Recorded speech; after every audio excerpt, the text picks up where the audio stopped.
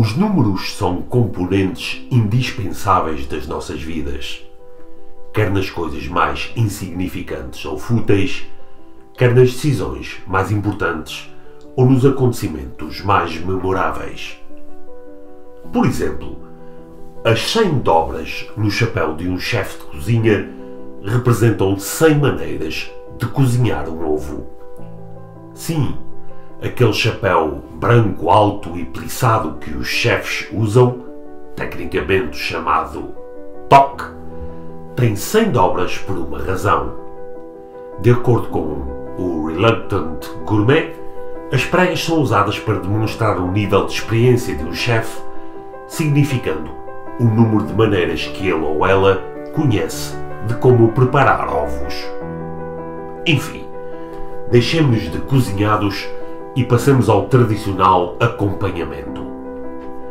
No que diz respeito a bebidas, sabia que cerca de 700 uvas entram numa garrafa de vinho? Isso equivale a aproximadamente 1 kg de uvas.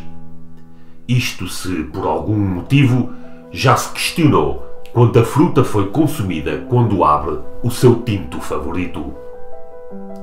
Mas falamos de números e de pessoas, mais precisamente de mentirosos. Sabia que 60% das pessoas mentem pelo menos uma vez em conversas de 10 minutos, de acordo com um estudo publicado no jornal científico? Segundo a pesquisa, as pessoas fazem isso porque querem ser agradáveis e vistas como competentes. Isso significa que, mesmo numa breve conversa, alguém provavelmente conta uma ou duas mentiras. No geral, as histórias dos mentirosos tendem a, ter menos coesão do que quando alguém diz a verdade. Eles são mais propensos a corrigir-se no meio da história do que aqueles que relatam os factos. Por exemplo, da próxima vez que alguém disser Eu encontrei-o na terça-feira. Não, espera, segunda-feira. Você pode ter um mentiroso em suas mãos. Quer dizer, basta ver uma entrevista do atual presidente do Sporting e todos estes sinais estão lá. Bom, mas deixemos os números dos mentirosos e falemos dos números da ignorância.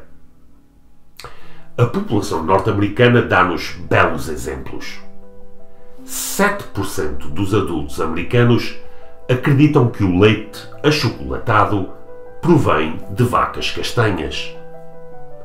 Eu sei que 7% não parece muito, mas essa percentagem equivale a 16,4 milhões de adultos americanos. Não são poucos, certo? Infelizmente, em algumas situações, os portugueses competem com os habitantes dos Estados Unidos. Basta nos lembrarmos de um outro número. Numa Assembleia Geral, 71% de sócios do Sporting acreditaram na CMTV e destituíram o melhor presidente do Sporting das últimas décadas. Um flagrante exemplo de burrice e ignorância. Para estes, tenho um último número interessante. Bater a cabeça contra uma parede durante uma hora queima 150 calorias.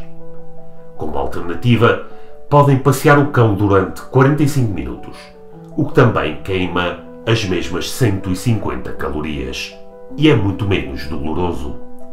No entanto, nenhuma destas ações aumenta a inteligência e a perspicácia.